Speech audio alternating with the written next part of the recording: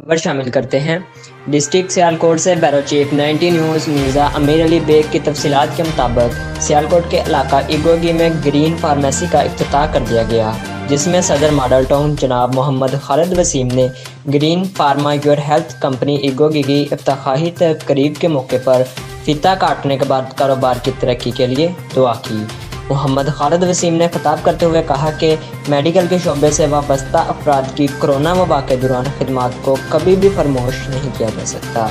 ईमानदारी और वफादारी से खिदमत सर अंजाम देने वालों के शाना बिशाना